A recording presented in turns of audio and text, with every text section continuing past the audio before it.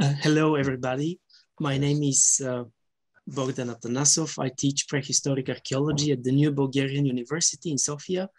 And it is my great pleasure to welcome you to our new season, uh, new season in our uh, BEMA, Balkan and Eastern Mediterranean Archaeology uh, seminar. And as you can see on the screen, we have a very strong start for you. It's Stefan Palitov, and I pass the word to Angela uh, uh, who will introduce Stefan.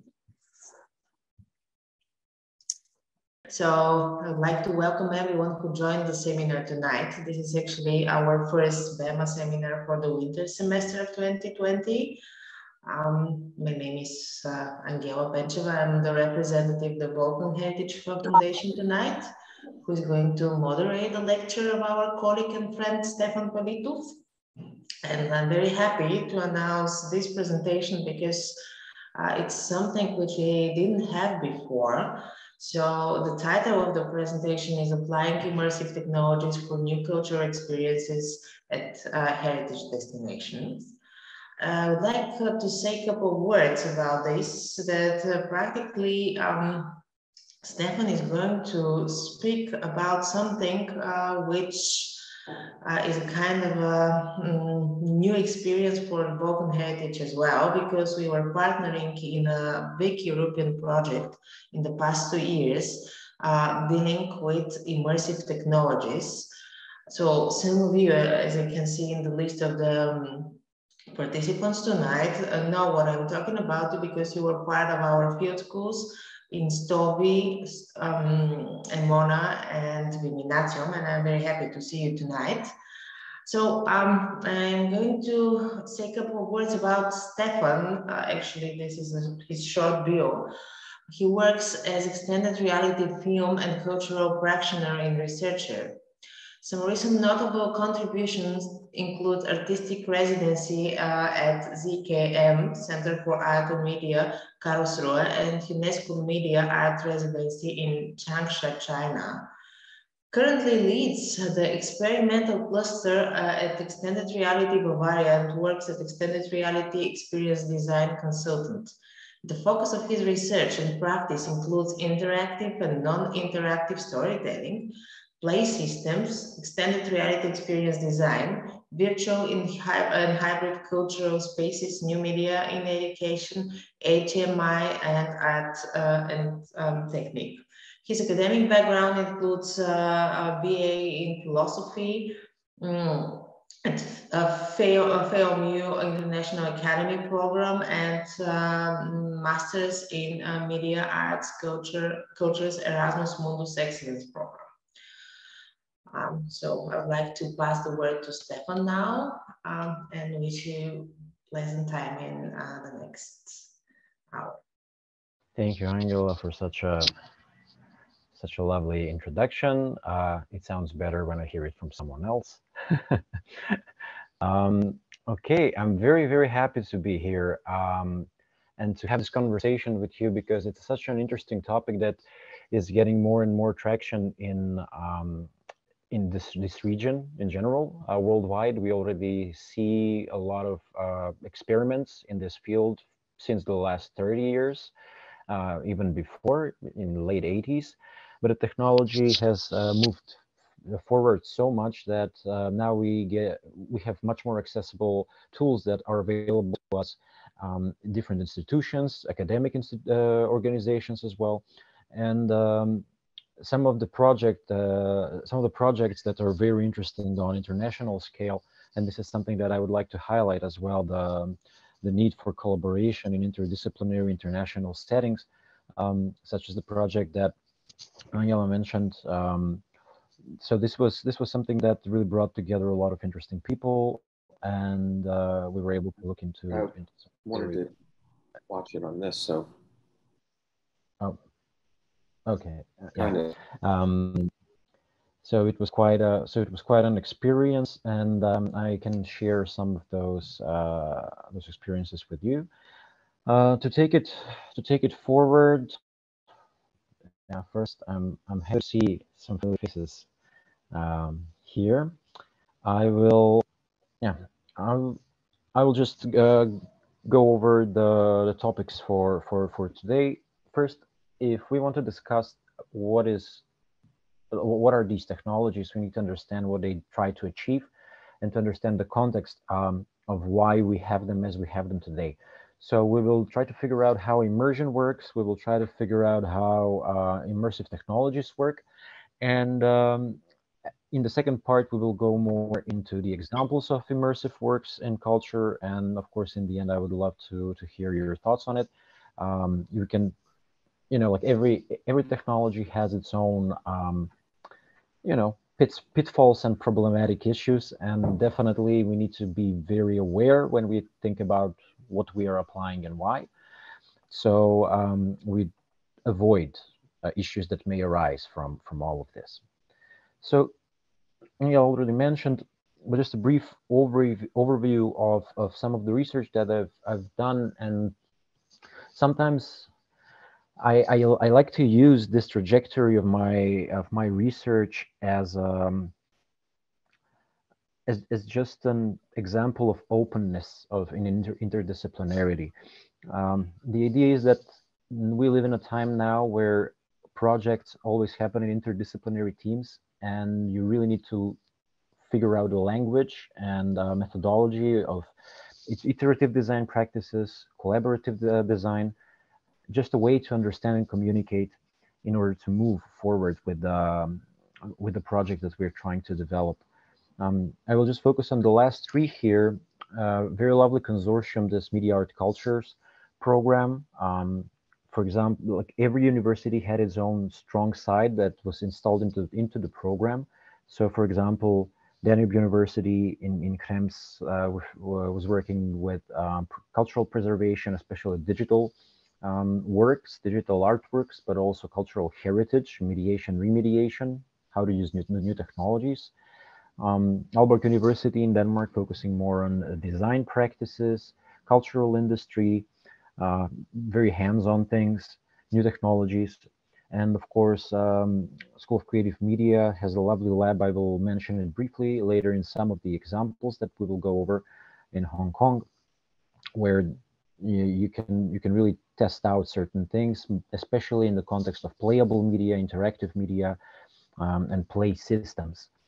So it is a very interesting combination, and um, you can you can take out so many elements of it and, and put it put it together.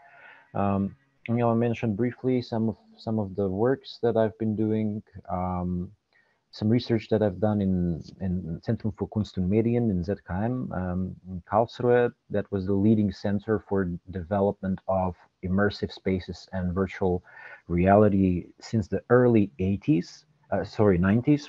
Um, military grade technology, a lot of funding, and playing just with those spaces in the cultural sphere. Um, also, some work with uh, with UNESCO. We will talk briefly about that my main point of this uh, research and I mean this lecture is to is just to share some experiences and some very interesting examples that we can uh, where we can see how technology is applied in a more um, non-immediate way let's put it that way.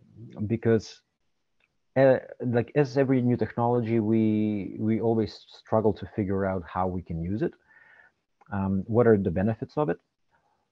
So now we are more in this conservative approach of how we use virtual reality, more of a view, viewing device instead of a tool that extends ourselves uh, and our bodies into the virtual into the virtual space. So we will go um, a bit there. I always put this here because it opens up sometimes discussion afterwards this was my uh, thesis, focusing mostly on how we design uh, virtual reality uh, narratives and experiences, but focusing on embodiment and the ludonarrative dissonance that may come out of it, the conflict between the need of the body to behave in a certain way into the story and how we give and take um, elements there. So first is figuring out immersion. Like because um, I, I don't want to really go deep dive into into this. It is more about figuring out what is the trajectory of our, our historical attempt to represent ideas and share meaning through uh, the stories that we tell. And we have been exploring very different types of technologies and um, immersion can come from some very, very basic uh, things. Think about caves, playing with fire and shadows in caves, uh, cave paintings. Um, that must have been um, as immersive as VR, I would say. Um, however, now we are moving forward to what is called uh, the virtualization of the artifact, meaning that the artifact uh, now is in, in its digital form uh, can be interacted with, can be changed, and then it can revert automatically to its original state of zero state. So other people can uh, have experience from the same point. That is one element, the virtualization of digital artifacts, and the other one is the dispersion of content and media around us uh, in a 360 environment. So this, um, as we move forward, is going to be pretty much just figuring out how we arrive today to the first person perspective device. Um, first person perspective, you know, in, in, in history of art, of course, we know that the, the gaze of the audience and uh, the intention that any creator has uh, with what, whatever type of artifact they're, they're creating um, takes the audience into account. So there is a right way of looking at things that are made. So uh, we're always in this subject-object relationship, right? Um, we used to do that when we were in the in the theaters. The focal point was, of course, in the center, but you could more or less have a full circle and just walk around and experience it from from other uh, angles. However, um, as time went by, we started doing things for specific points of view in, in, in an immediate intent. So um, I love this cathedral because it employs so many different technologies that create very unique uh, per, uh, first-person perspective or FPP, uh, let's call it like that from, from here on.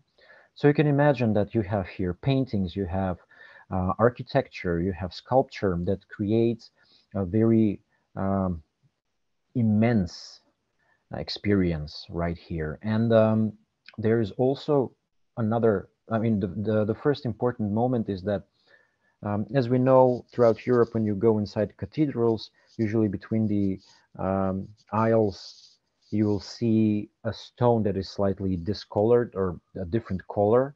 Um, and that is the the FPP stone, uh, as, as we jokingly call it.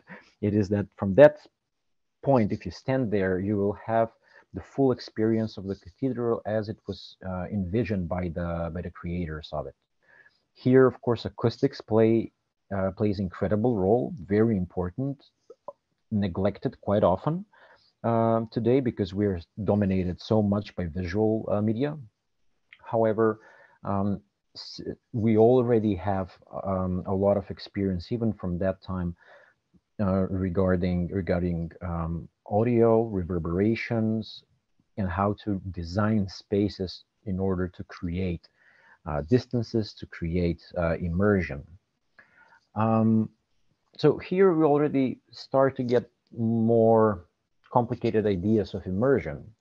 The idea that you are present in an environment, in a constructed environment um, that has shut you out from the um, from from the external uh, sensorial input as much as possible. Or I would I often um, use the the definition of Jan Huizinga regarding uh, how the magic circle of play comes into place.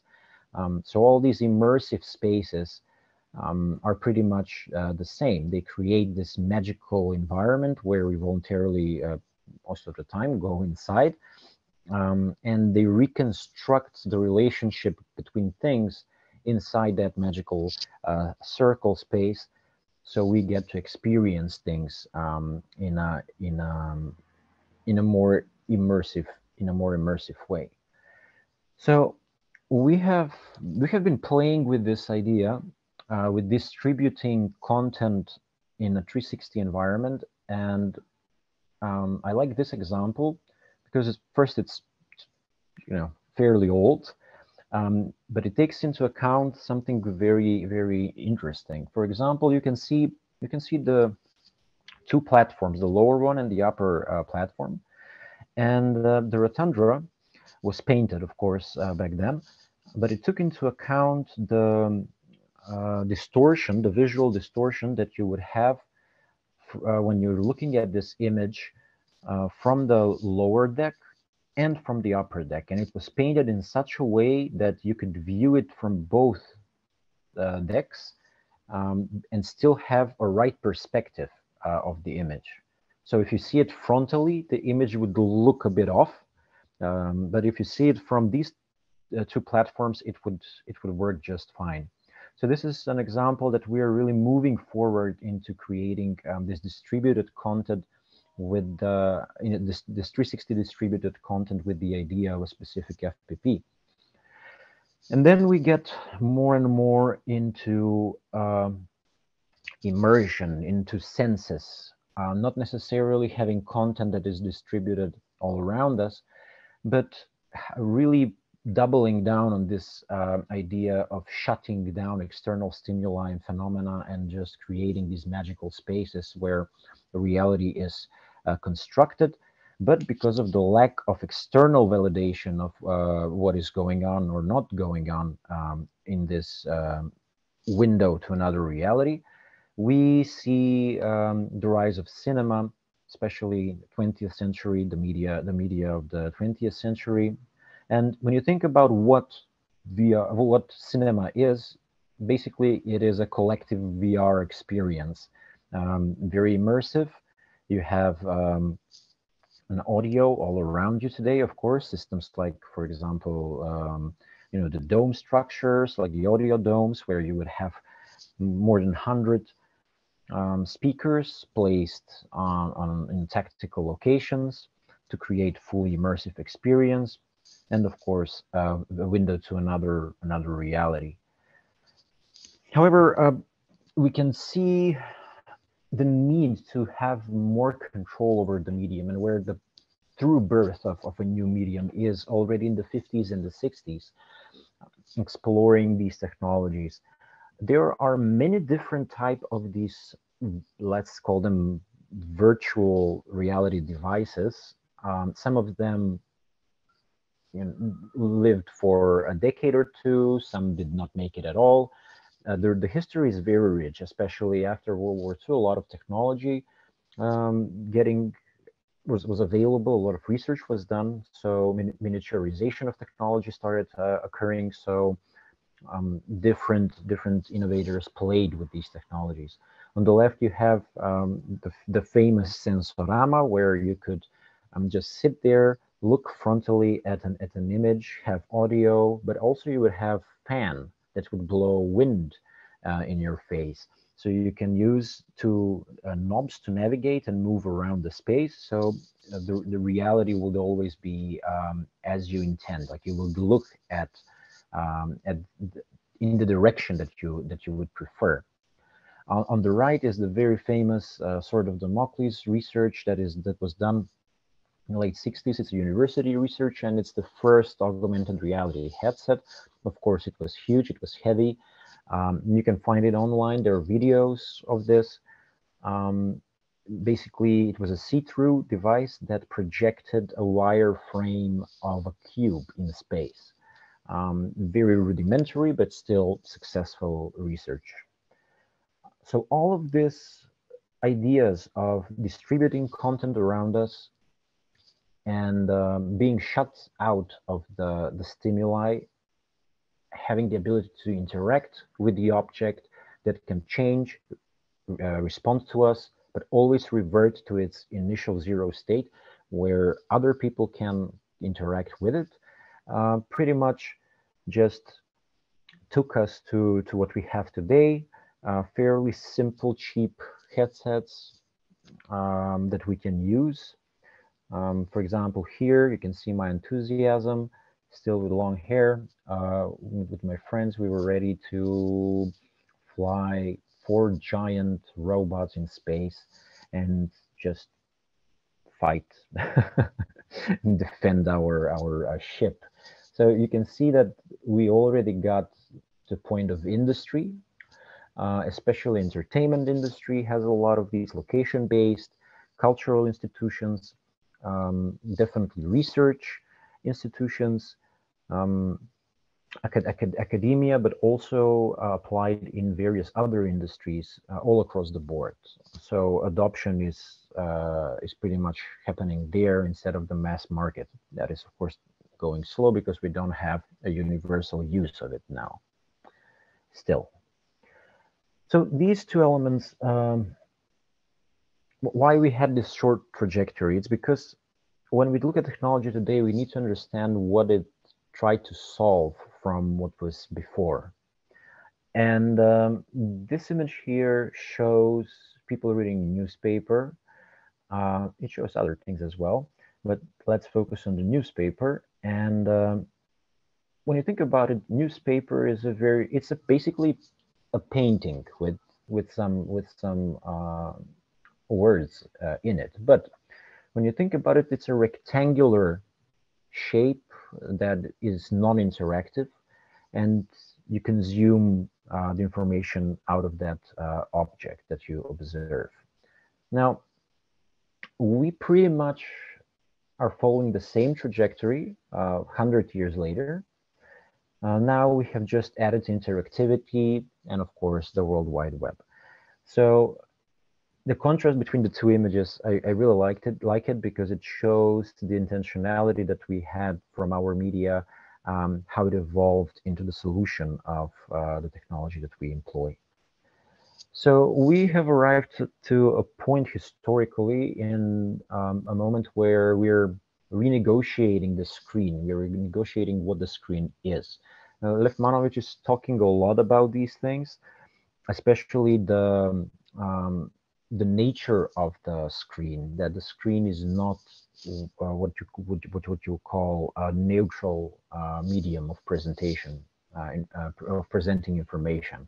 Arguably, not pretty much no medium is uh, neutral, but the creation, uh, he would call it the hegemony of the screen, was destroyed with its dissolvement into a 360 environment in, in the 360 environments.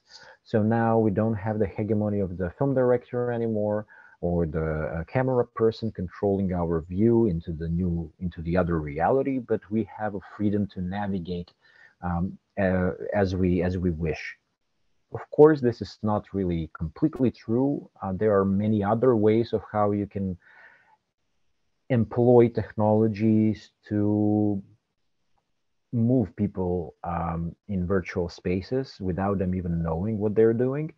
Uh, there are the famous ideas of nudge technology, uh, nudge principles or persuasive technologies that are employed in this type of um, interactive storytelling. And this is where the real, the real power of the technology is felt. Um, so two main principles from, from this entire uh, segment how to figure out what is the most important thing for immersion. On one hand, it's the 360 environment. So this is a cardinal change from what we've had before regarding um, our how, how used we are to interact with the screen. So the 360 environment is something that um, that is critical. And of course, the uh, uh, added agency of the users, of the audience, or, or the principle of virtuality. Uh, what I what I talked about that the digital artifact now is interactable, and it can um, it can be manipulated. Then it can revert back to the original state, so it can be reused in the same manner. Um, so these are the two main elements. So when we talk about immersive technologies, just to just to have a short overview, so we know what we are, what we're how to frame things, at least to put them in some form or in, in order to categorize them as much as possible, uh, which is an issue. Uh, the issue is because when when the term virtual reality came around, that was in the uh, 80s, Jaron Lanier, one of the famous uh, early researchers in, um, in immersive uh, media. He pretty much just used virtual reality as an umbrella term for a lot of research in human-computer interaction and immersive technology and neurocognitive studies. So everything just got stuck inside. Even today, we don't have very strict categories, although we understand AR and VR in its, in its fundamental difference, uh, which can help us to um, not just to understand technology, but also to communicate our ideas better when once we get into production. One of the main differences, let's start with augmented reality here, is that with augmented reality, um, we have a viewing device, a see-through viewing device, uh, slightly different, of course. You can see the phone and you can uh, see the, the glasses. Um, the phone, the see-throughness of the phone is uh, because of its camera. The, the glasses, you know, it, it works, it, they work as a, as a standard glasses.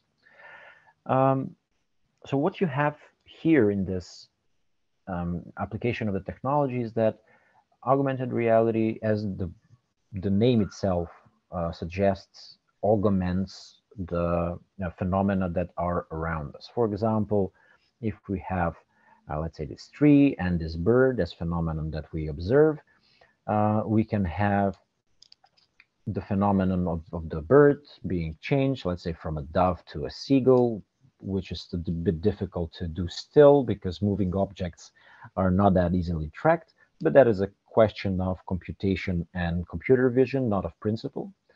Um, then we have things that are um, completely foreign into the space. For example, this uh, flying alien here. Um, Pokemon Go, of course, one of the most famous applications of uh, AR, that would be the case. Um, then you have those digital objects interacting with the physical environment.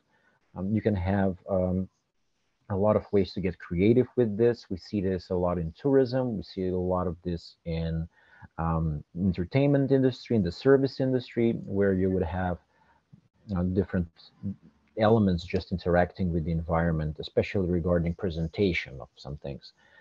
And of course, you can change the body. If you have ever used Instagram and if you have, you have put funny ears uh, or some cool glasses, you have used augmented reality, you have changed uh, your body. So the digital objects there interact with the physicality of, of the body that is present. On the other hand, uh, virtual reality is a bit more aggressive in its control of the senses. So it shuts us out of the of the environment more or less completely, which gives it this freedom to create completely new um, state of phenomena. One is, of course, that the body that you embody now in virtual space, unlike augmented reality, is no longer yours. Of course, the body can, uh, in AR, can be changed to not resemble as your body, but this is mostly done in virtual reality.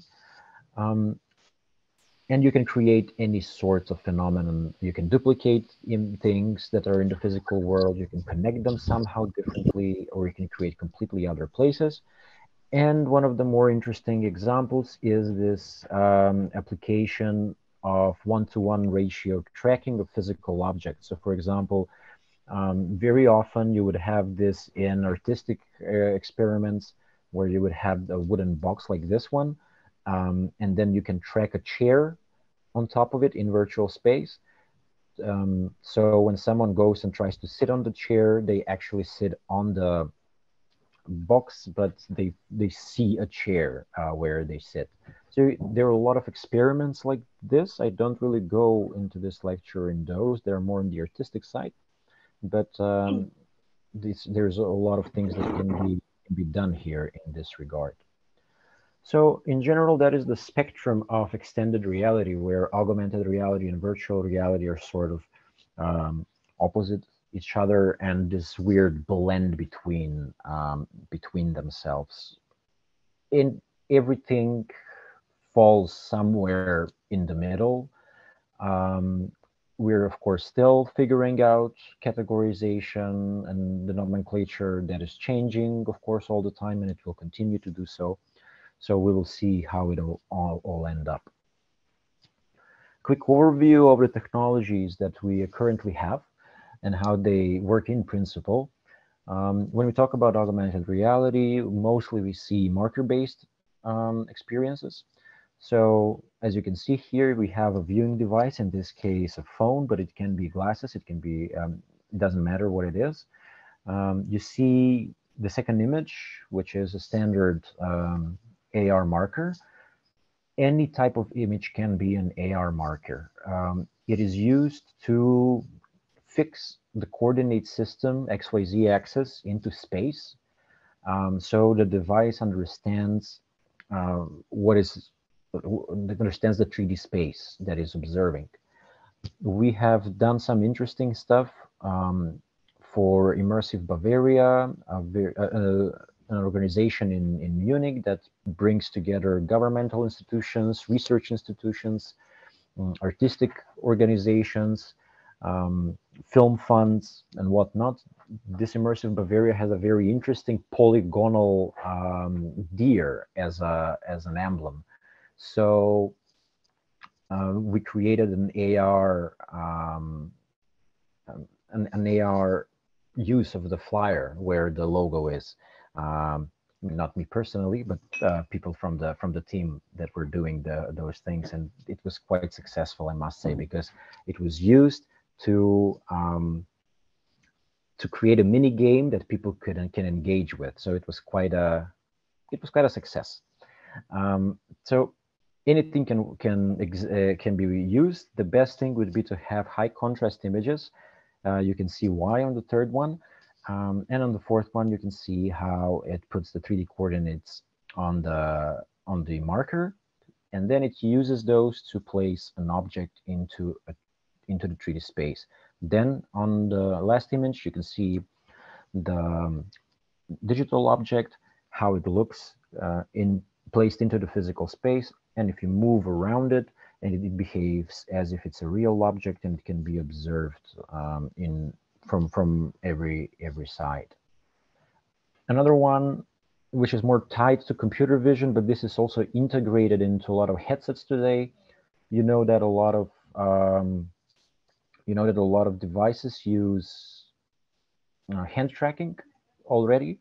So it is something that you can see uh, around quite quite often. So the way it works is that you would have um, an AI that understands how the joints work on the human hand. And then it uses these landmark points to figure out where the joints are in the hand. And then you can assign controls to different joints, joints and different behavior. In this case, we would have the index finger to write. We would have two fingers to move around and all fingers to, to uh, wipe everything off, to erase it. And you can just draw things in in air. This can be done with a simple webcam um, so it's more about the principle and how it works.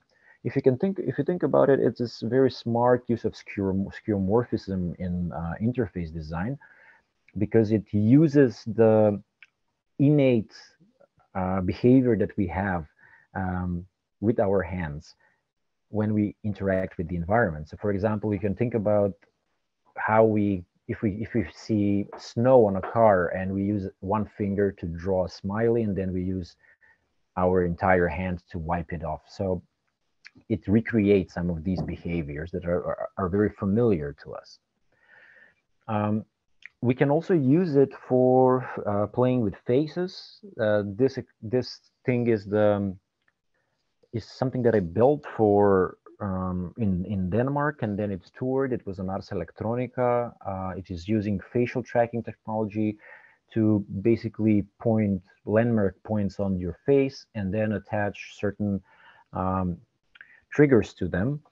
And what it does is that the person sits down in front of a mirror, puts a head, puts headphones on, and um, it, the person uses facial gestures to create music and poetry. Um, so you can play also with these technologies in augmented and virtual reality using, using face.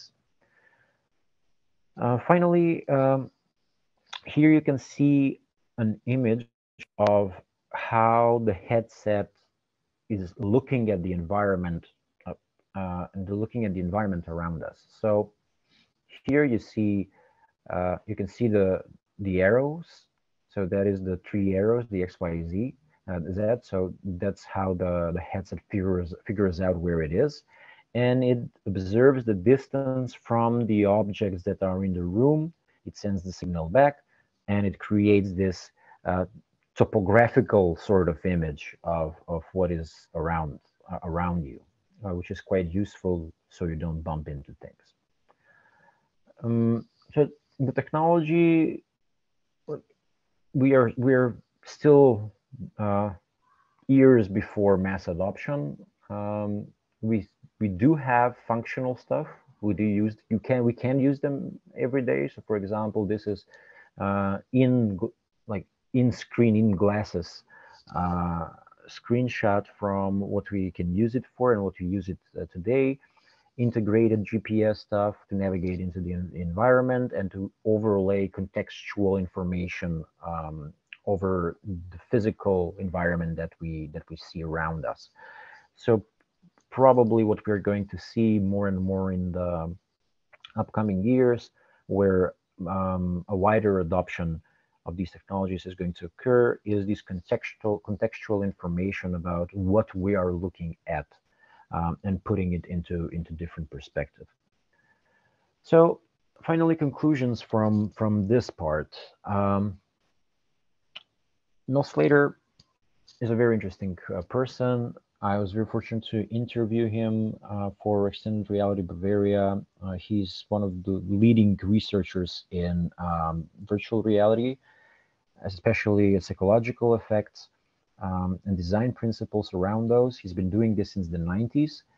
Uh, one of the more interesting things he's been doing he's doing uh, lately is creating scenario-based VR training for um, empathy training for uh, New York police. So he showed us some of those uh, works. So it's quite interesting to see where technology is moving. Um, very important, just to put it all together that the goal of immersion is to create the sense of the sense of presence the sense that we are somewhere. And there are principles that uh, we need to keep in mind. Uh, you can see them on the screen. The idea is that the sensorial stimuli uh, obscure the existence of the device so you don't think about the headset and the you know and the, the things that you have in your your hand about the wires or uh, anything that may be employed um, the entire environment, virtual, the created, has to be consistent in the information it gives out. Uh, very important to have the possibility of interaction uh, with the environment. There is something that is called the Swayze effect. Um, it was coined very early into um, when when VR was getting a bit more widely adopted around 2015, 14. Um, and it's based on the movie Ghost with Patrick Swayze. The idea is that you don't want to have the Swayze effect where uh, your audience feels like a ghost in an environment and no one reacts to their presence. Uh, it can cre create very strong uh, dissonance of um, what is expected, how the world to interact, unless you want to create this experience, uh, that type of uh, feeling, right? Um, so there is also this important importance of the movement of the body. There are two terms here. We will not go deeper into them. They're tied to neurocognitive sciences. They're called proprioception and kinesthesia, and it's basically about um, our awa the awareness of our body, uh, because we have feeling of ourselves even without looking at our body, and there is a expected orientation that is innate to us so we have sense of the body even without looking at it. Um, there is more research, a lot of research done on this subject, and um, we have to be careful not to distract the audience with with inconsistency of how uh, of their expectation um, of how the virtual body behaves that they have adopted into the into the virtual world. So takeaways. Extended reality, it is not related to a specific device. Usually when we talk about extended reality, we talk about, you know, a headset. That's how we, we envision it. But we can create extended reality with so many other technologies. Holographic technology, of course, being one, projections, uh, 3D projections, all sorts of uh, tools and devices. Um, also important is that X, uh, extended reality XR is following this long-term aim of uh, recreating, documenting, just sharing uh, reality between between people um, as we experience it through our senses. So to make it something uh, that is pre-verbal as an experience. Um, the general principles are 360 environments and agency, interactivity with the with the uh, content. Um, first person perspective is the key way of thinking when you're uh, creating this type of experiences. Um, and the goal is to establish and maintain sense of presence uh, in the virtual environment. Um, so establishing the, the, the first person perspective is done to sensorial inputs where the vision is dominant, but there are examples where other senses can take over if the design of the experience is done in such manner. And you can really do some very interesting things with this. Um, because mostly they're, as it says, multisensorial experiences. And agents and interaction in the virtual environment are play very important roles. So this is the general overview of what we are looking at when we are looking at um, immersive content at augmented and virtual reality experiences. So for the for this part, I will um, just look at few things. This is just to mention a few things. When we think about immersive content, we need to think about a few things. One is, of course, how the story behaves. Um, we are very familiar with linear storytelling, and increasingly we are familiar with branching narratives where you can choose to go uh, to one point to, to get to one point from different roads, sometimes circumventing entire points. This, of course, opens up huge issues um, uh, regarding quality story of storytelling. Um, but keep in mind that we are interactivity presumes quite often the ability to navigate as one wills into the story, to take paths on their own.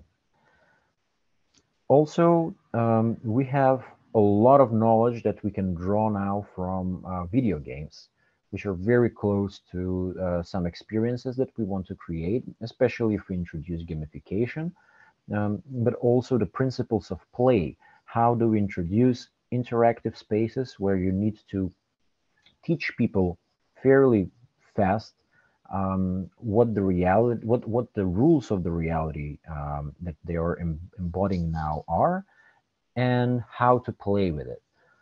The most important element is this one that I've put uh, down here. Um, and Zimmerman, by the way, Rules of Play, very important book regarding this. If anyone wants to research more regarding interactivity, um, you, you, you can definitely check this one out. So the very important thing is that the, the play contains quantifiable outcome or, or goal of the ending state. So you know you, what you want to achieve. This is very important in the um, in play, but also in immersion in general and immersive content because we don't want to have just a free roam um, unless that's a principle that that you employ. But mostly you will you will be encountering um, these type of figuring out what the ending state is of the experience you're creating. Finally, it is very important to understand what type of experience you are uh, talking about. Um, the most dominant are, of course, seated and room scale currently, especially with the rise of the Quest you can easily have a room uh, a room scale experience. Most of the games that are created are room, room scale experience now. Um, and of course you have things like free roam which are very difficult to pull off very expensive to pull off. This image here is four versus four players, Ghost in the Shell in Tokyo. I, I took this photo, very interesting um, outline in general. It is infrared cameras that are tracking eight people at the same time in the space, processing everything through, through a machine and having a shared experience inside. Of course, again, a bit complicated to do it uh, and to maintain it working, um, but definitely something that um, that we have as one of the more interesting applications of these technologies. So again, now we are entering more into looking at the experiences. Always have these things in mind. How do we how do we uh, know what is the world? How do we know um, what is the role of the user? There is a very lovely uh, work by Rune Klevjer, a researcher who is dealing with avatars. Uh, it is called Who Am I uh, in the game world. So it is a lot of discussion about how we embody other characters. Um, and I take some of his research into context of how we embody other characters when those other characters are fully controlled one to one by our bodily movement. There's there's some interesting dissonance uh, that can come out of there, or immersion that can be created. Um, then figuring out how the interact how interaction works, and then figuring out how uh, to present it, uh, basically. So I have links here. Let me see what would be the best way to do it. I think I can switch it like this. Hmm. Let's see.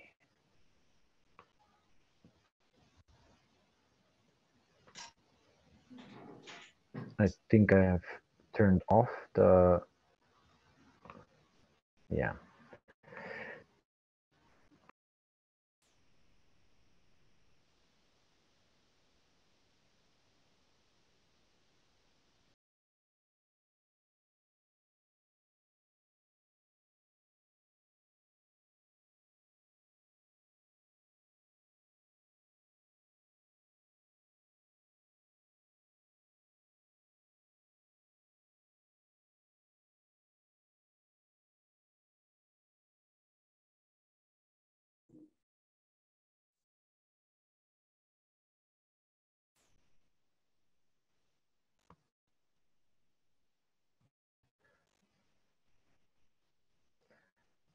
So um, what you have here is a technolo technology that is almost 10 years old. This video is almost 10 years old.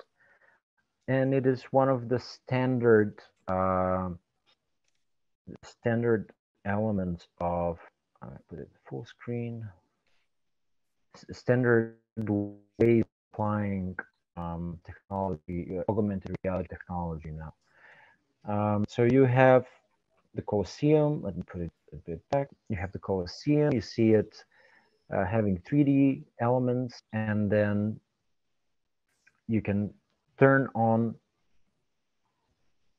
parts of the building, have it reconstructed, observe different historical aspects of it.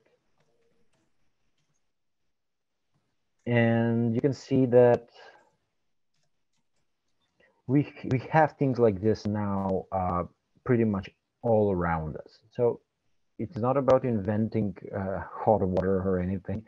It is about understanding what are best practices at, at this point. So we, have those things. Then we have, if I go here, we have things like this which is a more advanced use. The uh, of technology, and it's it's good to have the same, uh, a very similar uh, object of interest, in this case, the Colosseum, so we can see how we are using uh, uh these technologies in different Hey everybody, it's Snuck here, and recently I was shopping at a local dollar store. What's I... going on? Okay. came across these. There It's you a go. week- okay, we don't do that. Um, let's see, it loads a bit slowly. Mm. Wait, let's go. Can you please give me a second? I will switch to uh, my in- internet and will yeah, just please give me a second. I think it's going to work better this way.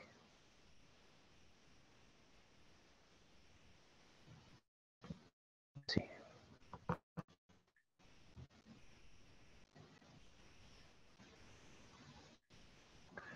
Okay, so what you can see here is uh, the Colosseum, and you can see different uh, elements of it now. For example, we have a lot of these technologies being used. Um, so this is a commercial trailer for it. So there are uh, also videos shot from like live videos, but I wanted to show you this uh, element. So here you see uh, different, one very common use, and that is the.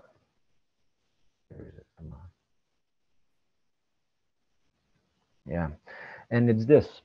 Basically, you can use uh, you can use these technologies now to have a very quick time uh, time machine uh, representation and to see how things have developed and changed throughout history. Um, especially if you have major changes throughout some specific eras, some uh, some points of interest, historical points of interest, where you can see things uh, happening in front of you at much fa fa faster pace of course rep uh, being represented into the into the environment there. Um, what we also have is something more traditional in that sense and that is for example used in this cultural tourism. Um, one on the left is having this puzzle-like experiences where you have um, the where you have the um, how do you call this? Like the entire the entire wall. This is not even the entirety of the wall. Um, represented into the gallery. And then you have use, using a, a tablet this entire space it is reconstructed into the environment where it was originally presented. So you can pretty much just join things together and recreate the entire um, the entire wall as it used to be. And on the right side you have more entertaining things where on a fort in northern ireland that is on the sea you have a ship that comes by and you have to sink it so you can play more with the environment um, here um, so I won't be opening these videos uh, because they're, they're, quite simple concepts. For example, you have some old cannons that are standing there, but you, you do not interact with them, you interact with the idea of, of them.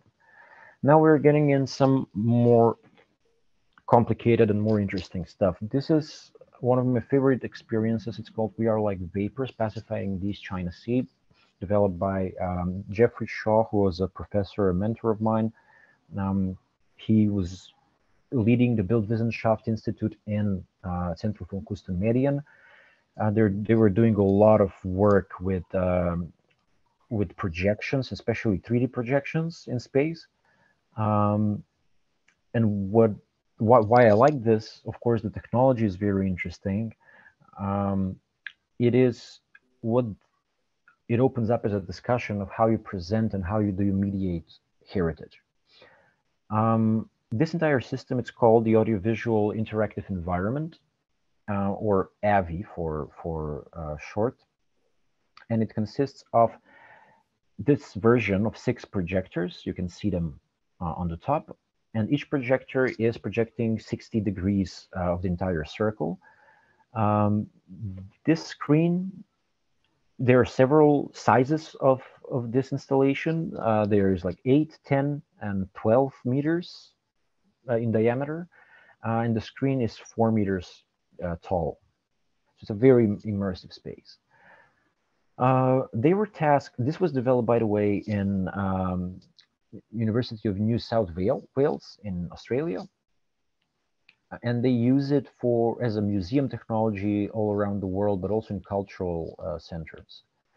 Um, this one was commissioned by the Hong Kong Maritime Museum when they have uncovered um, they have uncovered a, silk, a story silk scroll um, depicting some historical events, and they were figuring out how to tell the story of it.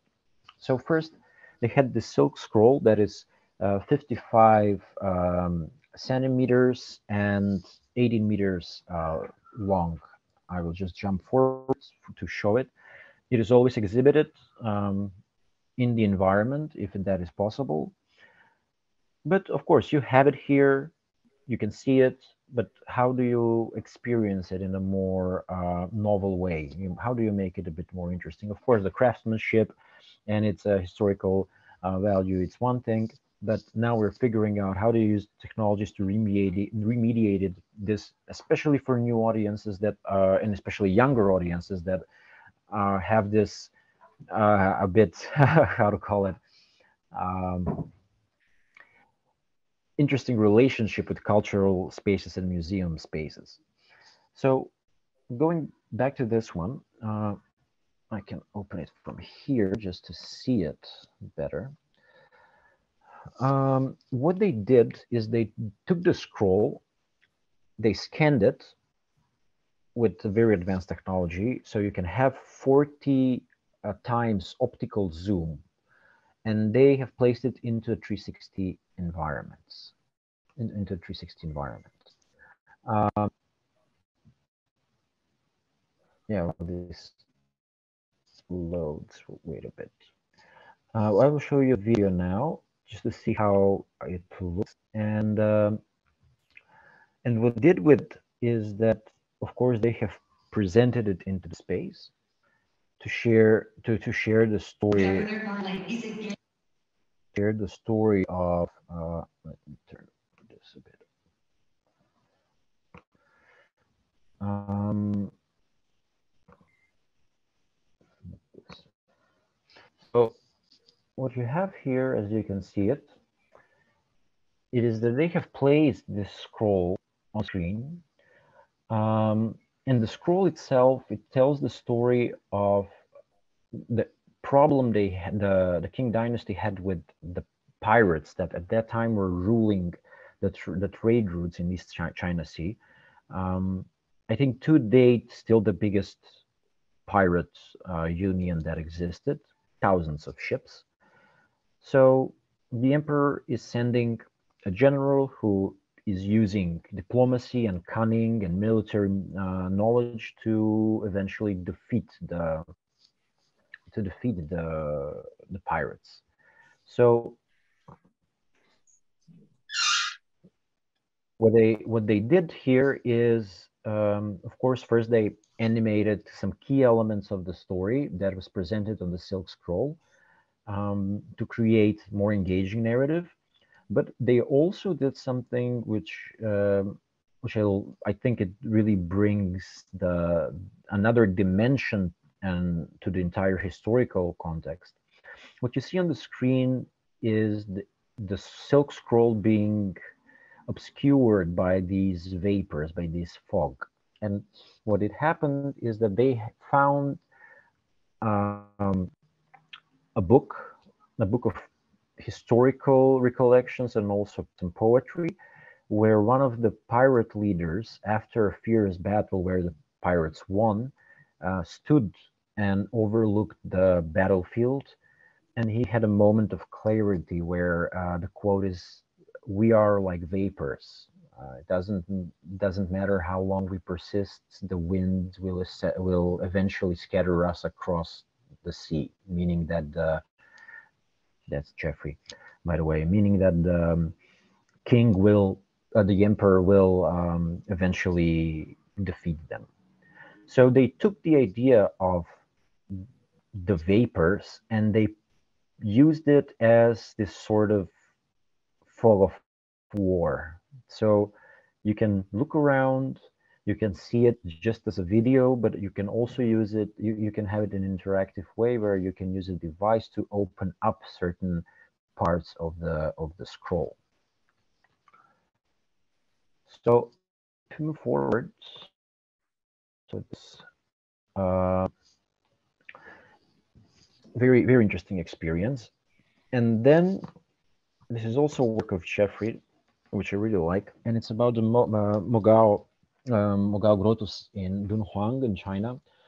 It is a magnificent environment, hundreds and hundreds of Buddhist caves that were um, painted throughout the centuries and now they try to preserve them. They can unfortunately they cannot manage to to preserve all of them because uh, it is just the, the deterioration of the environment and and the humidity is just destroying the the paintings so what they are doing this is work that they created um, using those those um, those those caves. What they did is while waiting. Um, what they did is they took a group of technologists and artists into one of the caves and they did a high detailed scan of the entire uh, cave where they were and then they used it to recreate a virtual um, a virtual experience out of it this one is using augmented reality and uh, I'm going to show you this in uh,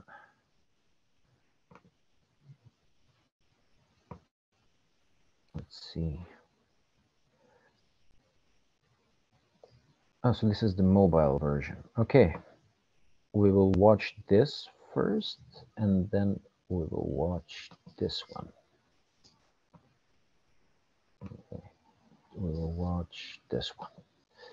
So this word I as an example because it shows the issue of um, and traveling exhibition, something that is always problematic, especially if we're dealing with artifacts and especially if you're dealing with old stuff and old artifacts that are fragile. So what we have here uh, is the mobile version of the experience. The the one that is more difficult to, to move around is based in the AVI system that we saw uh, before. Uh, here you have tablets that are, you see the white dots on them, white points. Those are used for navigation. Um, there is a sensor that is picking the positions up and then you look through the through the tablet as if you were looking at the walls of the cave.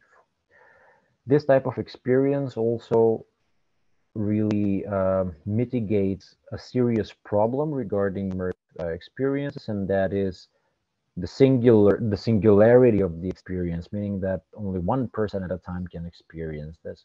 Uh, here, you, you can have more people uh, looking over the door and just observing the, the, the space. Um, originally, the, the original version, the first one, like, like, but it's in the list that we we saw uh, before, and I hope it will not yell. Yeah, and used um, Sarah Kenderdine, by the way, one of the leading museologists, incredible woman. Um, she's doing some amazing work. Some of the projects that they're doing together with, Jeffrey are really amazing. They're, they have been developing immersive, immersive technologies, platforms for viewing platforms that uh, that have the idea of the museum of the future, um, revolving around these type of technologies uh, where you can have it built in different locations and you can have simultaneous exhibitions. Um, very, very interesting concepts. So this is as you can see, one of the caves, they have more caves that you can just choose from and look around. What I like really about this experience is that uh, you can use your device that you have as a torch light. So you're in this complete darkness and you can just uh, navigate, you can navigate as if you are exploring the cave for real. Um, of course, this is 3D. You saw her; she had 3D glasses, so it is really it is really immersive content. You cannot translate that to a 2D screen, obviously, um, but we can we can imagine how it is. You can expect things much closer, uh, you know, than than you could usually uh, do, and you can add some extra information uh, on top of that, and even interactions that are at some point yeah, they have placed animations um, that put everything into into perspective and bring everything uh, into life. Let let us find some examples. So this is just one small example. You can really you can highlight using these uh, principles and approaches elements of the um, entire entire experience. So that is pure land. And then we uh, go forward. A simple, um, I will not even open the, the video here because it's it's not uh, too, uh, you know, wow or anything, but it's a very simple use of these technologies, this technology that can be applied and have much more intense impact. And uh, basically this is uh, a museum in Washington dedicated to the Holocaust. It was placed in, it recreated uh, this tower of uh, the, the, Lithuanian that is filled with images and photos from the Lithuanian community. Um, and you can use your phone it, it, first as a as a as an experience of how it is created. It's very very interesting. Um, it really gives off a very intensive vibe uh, when you see it. And um, you can use your phone to get more information about the people um, and how they survived, if they survived, what were their life trajectories, and so forth. Um, now we're getting to this work that I did for for um, as part of this UNESCO residency uh, in collaboration with the Media Art Center in Changsha. And uh, it was something that we did with the goal to get engaged with the cultural heritage um, of the city.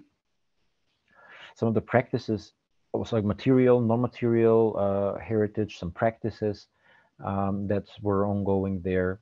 And it is a very interesting discussion because it asks a lot of question about what remediation is, to what extent you have a freedom to explore the ideas behind the practice, not necessarily just showing artifacts and you know just have data for them, uh, but also have some artistic license to play with them a bit more and to highlight the the ideas behind these practices. Um, and it also opens up the question about um, accessibility to, to the works. Um, this is how it looks. So it is a VR installation where we have taken a, a Taoistic burial pot. There is this practice of Taoist monks that are placed into these pots. So um, when they are, they feel that they are about to expire, they go into inside these pots and start meditating, go into deep meditative state. Some argue that they can last like that for months. Uh, and they just put these pots in walls, in caves. Occasionally, uh, even today, we find these pots with people inside them. Yes, so um, so what we have, so what we did there was we found all of, they're quite rare today. Uh, we found the person that was making them, we acquired one and we used it as an installation.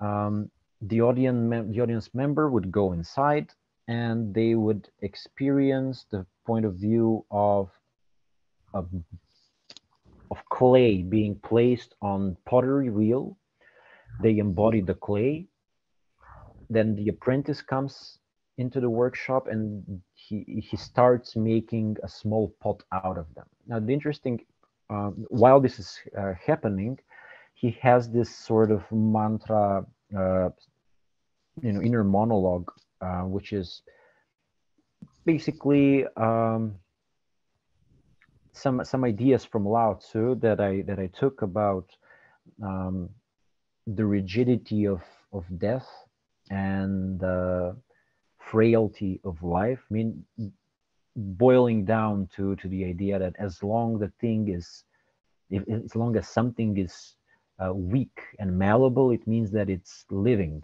so it can change. And as long as it's rigid, it doesn't mean that it's died, so it has reached its final form.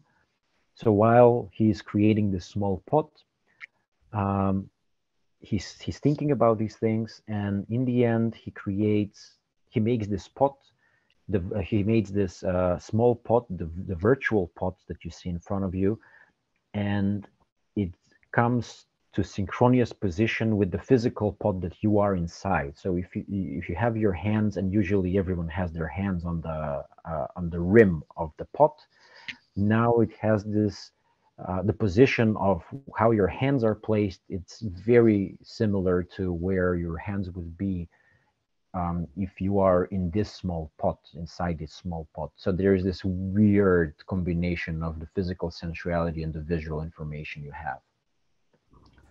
Um, it is an interesting discussion about presentation um, and to what extent do you have the freedom to do so. We were given, of course, a freedom to, to explore it more and to just to play with, just to in, enter into discussion and dialogue with the community that is that is there.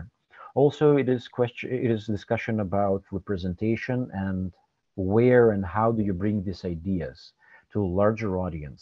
Of course, the main backdrop of everything that was done there was that we were trying to put these practices uh, in front of a larger, contemporary, and younger audience. Uh, this entire um, exhibition took place in the Xie Zilong Gallery, which is I believe, the biggest privately owned modern art uh, gallery in in China. Um, it was just amazing how, how, everything was was was going on and how many people uh, wanted to see this. Um, of course, it is China, much bigger bigger market, um, but it's it's very interesting to to just to think about how do you present virtual reality to so many people when you have one headset because the the artifact itself was very important. So this opened um, another uh, discussion. This is just the image that I really like. You can see me here checking out this tiny boy. His parents wanted to for for him to figure to to experience uh, this this installation, and it is more you know in all of it. It's about how do you make things accessible uh, to a larger audience. And um, it can feel a bit perverted, maybe, to think about presenting, um, especially if we talk about artifacts and historical information in an Instagrammable or viral way. But um, it really does help a lot if you can give something the people that engage with the work that you're creating so they're willing to share it with others so it's it, it pays dividends uh, to to just have a to have a way to insert the people into the experience and then document that experience and then share it forward um, but again this is virtual reality and it opens this entire discussion of which technologies do you apply and what do you apply them for? If you have one headset, you have one person at a time. If you have experience that lasts 15 minutes, let's say, you have onboarding, offboarding of five minutes if you're very efficient and you have people that know what they're doing on the spot. I usually make uh, always the mistake to create some works when, when we're talking about artistic works, of course, uh, where I, I have to be there all the time. So some of the artists will just install something and leave.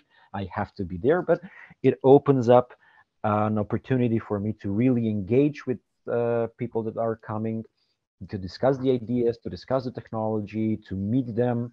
And uh, I'm in contact with some of uh, some people that I've met coming to my installations uh, even today. So it's a it's a very it's a different way of interacting with the audience. But what you see in front of you is something that I I took it as a as an as a mission to have it to have this uh, story to have this artifact this practice um, to the Taoist practice, but also the artifacts and the entire practice of creating this type of pottery um, accessible to larger audience. Now, this is an idea and render uh, render of an idea that we had for um, the the Tech Museum in in Munich, uh, who like they wanted to bring the pot. It was already agreed to have it um, in from China for six months there, um, unfortunately, the Corona crisis happened, so everything got you know derailed. But we were thinking about how to have it, have how to have this experience in a more hybrid format. So I came up with this idea to create a fake archaeological dig site in the museum, where we would have the pot placed as a centerpiece, as if it was uncovered. So the audience members can just roam freely around this place. One of them can be into the pot at a time, of course, but others can interact with the environment. So you would have people from the museum dressed as uh, archaeologists, uh, just uh, being around. And also, uh, I wanted to create augmented reality part of the experience where we would use papers, like newspapers, where we would create AR codes that can be used to engage with uh, the story. Like we, I wanted to create like these uh, early 20th century findings. Um, for some, for example, someone discovers a tomb somewhere in Egypt and it's like a newspaper finding. I wanted to create a fake finding for this archaeological dig site, but to use it in order to um, open up more and more information about what was going on and how it was used. Uh, so to create a fiction out of some, uh, but presenting something very, very real in sense of practices. Um, so it, this is a good example to see how do you weigh the benefits, the pros and cons of different technologies. Um, another one, and we're finalizing, yeah, we're getting to the end with this this is something that we see um, that we see quite often now, and this is more of a map-based city walk uh, type of experiences. This is similar to what uh, what was done on the, the project that Angela mentioned, uh, having a map of archaeological sites where you can just move around and you can get to specific points that of interest. What you see here is uh, developed also by uh, ZKM.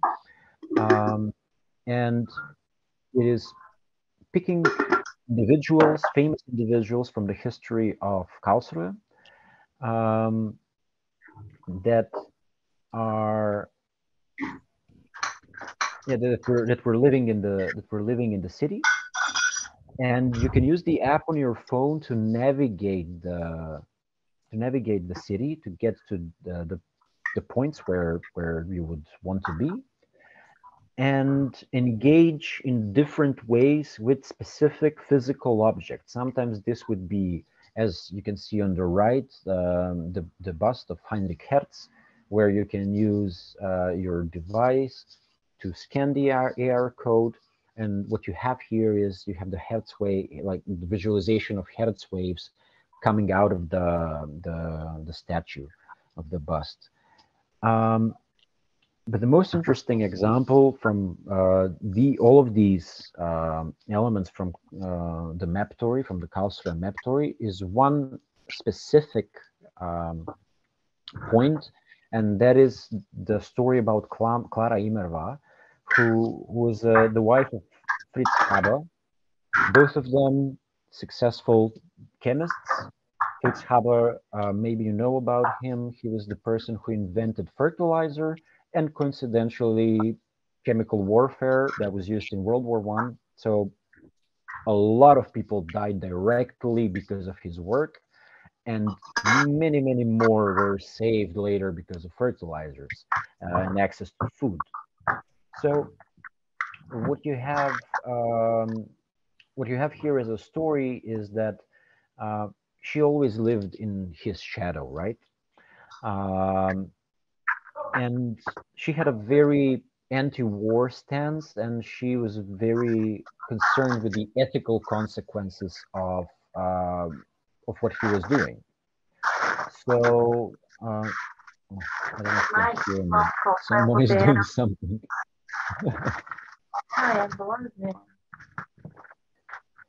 there is some some ki kitchen work involved.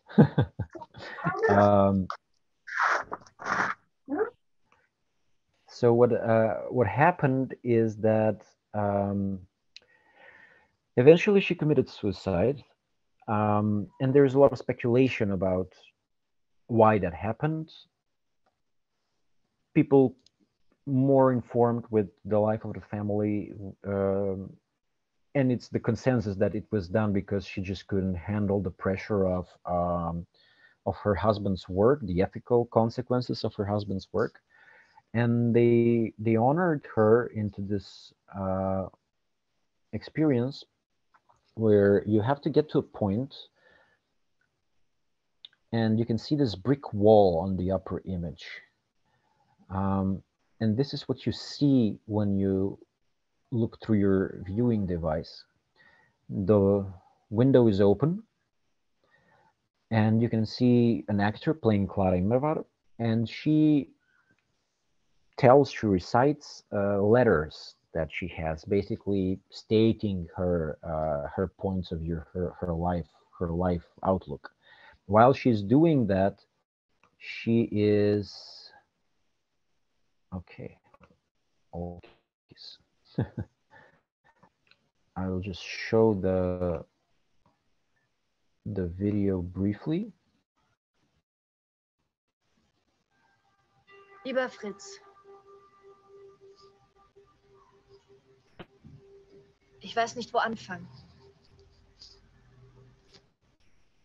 Ich bin müde. So while she is uh, müde wie noch nie in meinem mm. Leben. While she is uh, giving her perspective on things, she is um, breaking herself into into the the room, blocking off the window, and then when you finish with the experience and you take your phone off uh, phone down, you see the, the bricked wall in front of you.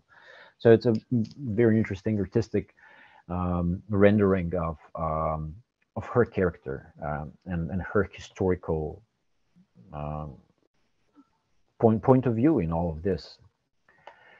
So takeaways um,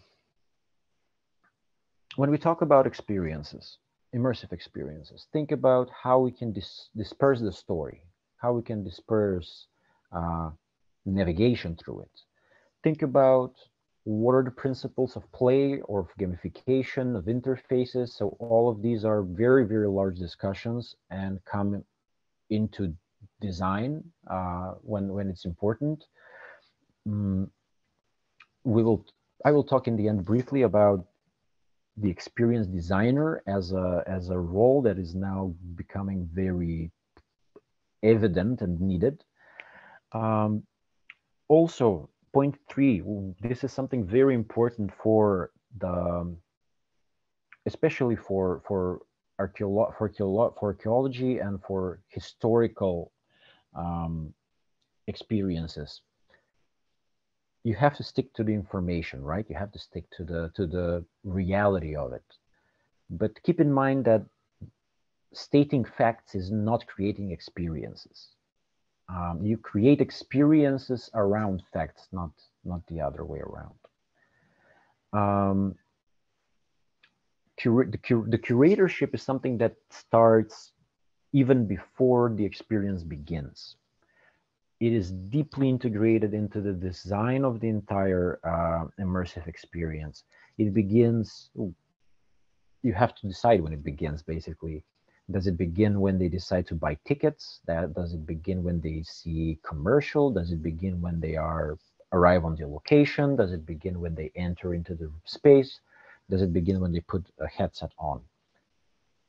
The best experiences, if you're talking about best practices, the experience starts at least when they enter the space, not necessarily when they put the headset on. So there is a process of onboarding, which is very important to create this sense of uh, other reality in which they're going to step into.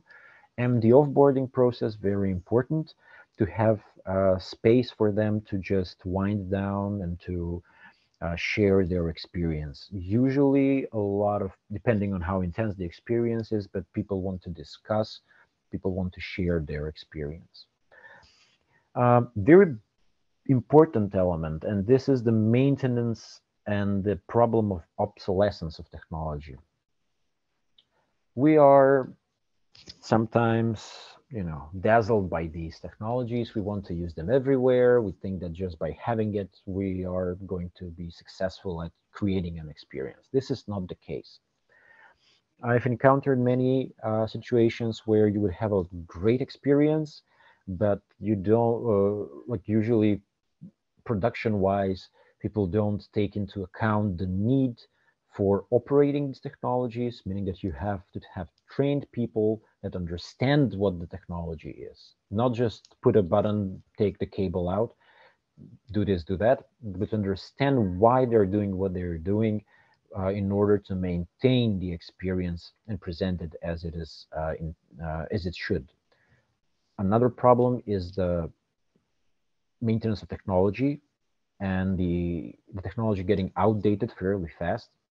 So you need to take into account that you will uh, structure your budgeting, for example, in a way that it you figure out how long do you want this to last. If it's five years, you have to budget maintenance for five years, and to be very to be very straightforward and clear about this.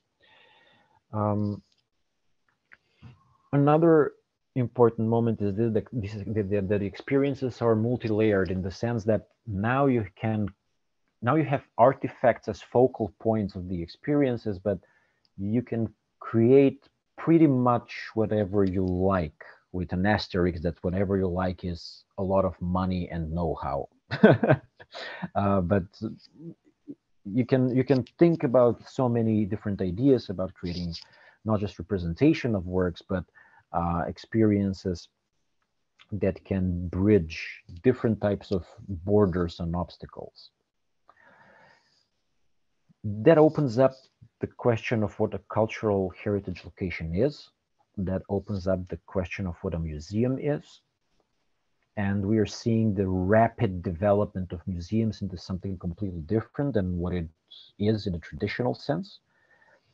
Unfortunately, uh, Europe is still very conservative regarding how it engages with its cultural heritage. Um, unlike Asia, that is, which is very open to just playing with it, just you know, take it apart, reassemble it.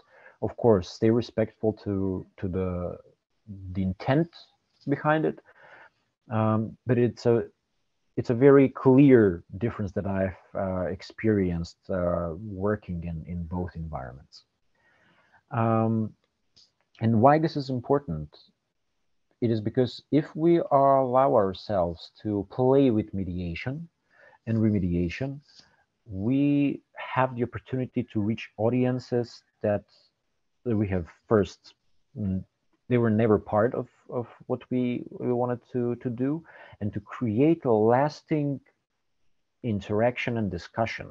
Because in the end it is about um, creating cultural spaces that are lived culture that are places not where you have glorified um, tombs of things, you know, like a glorified depot where just people walk around, they see a plaquette, they read something, and they leave.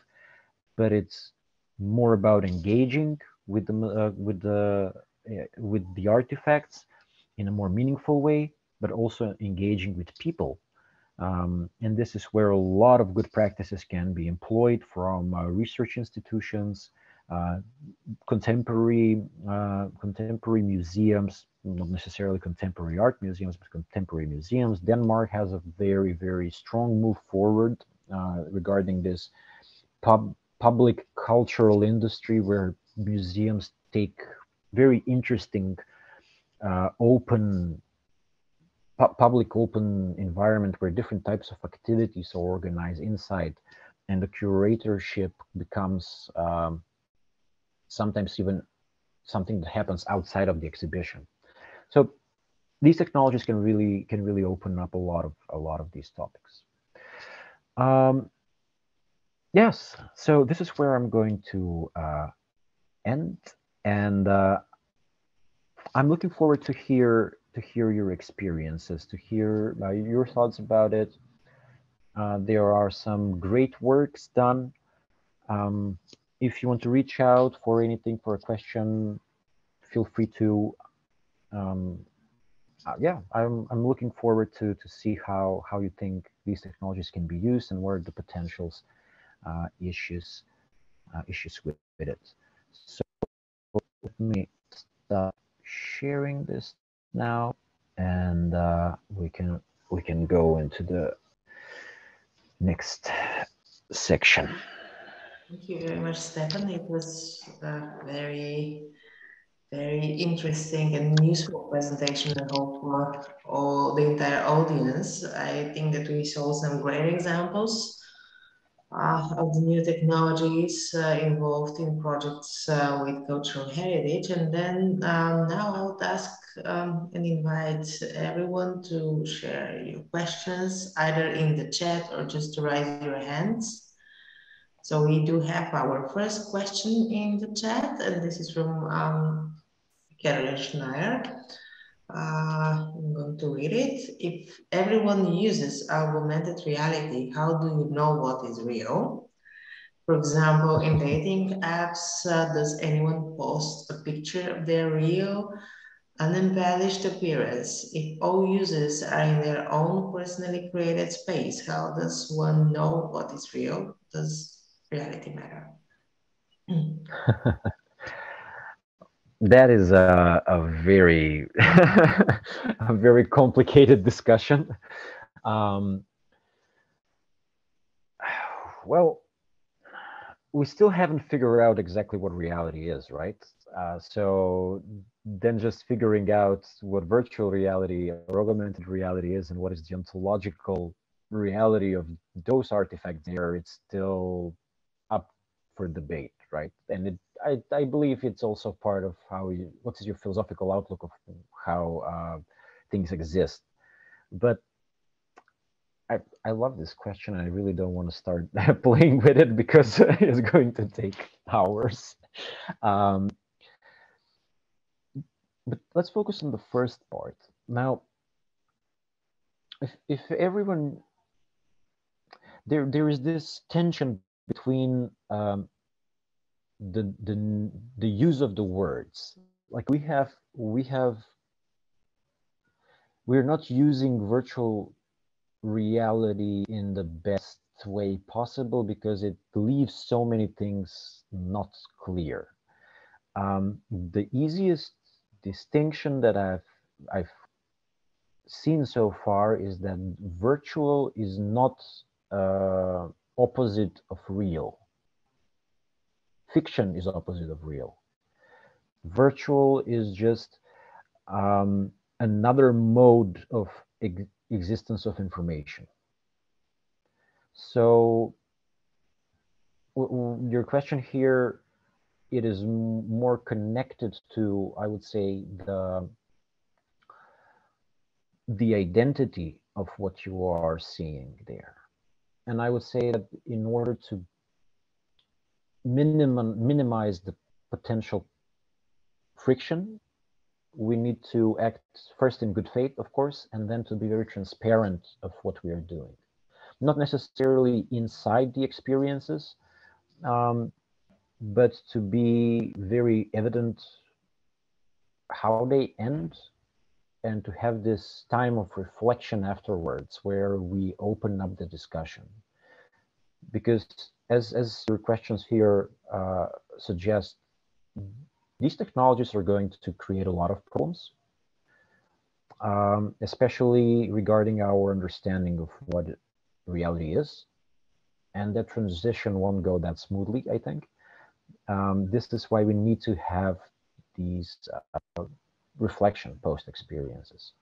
And sometimes just to, to accept that these things that we are creating exist in a very real way because you can know, let's not open that discussion but now with neurocognitive research we have seen that uh, the brain pretty much does not make difference between uh, virtual reality experience and uh, physical reality experience.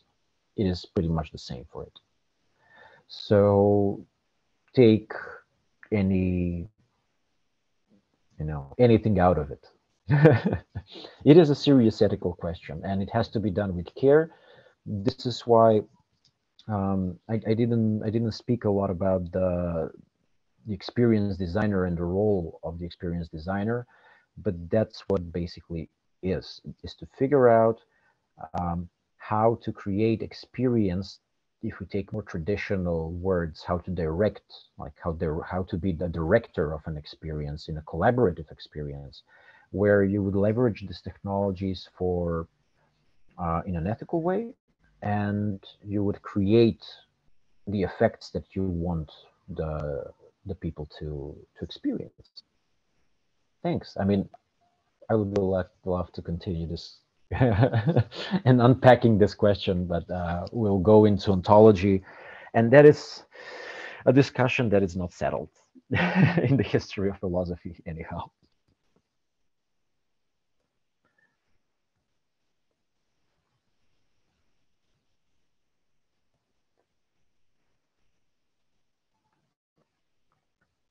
Uh, you're muted, Angela. Sorry. Uh, Diana, please go ahead with the next question. Yeah. Uh, yes, people will get addicted to virtual reality. That will happen. People get addicted to social you media. You muted it. Okay. Hello. Yeah, yeah. Um, nice to see you. Hi.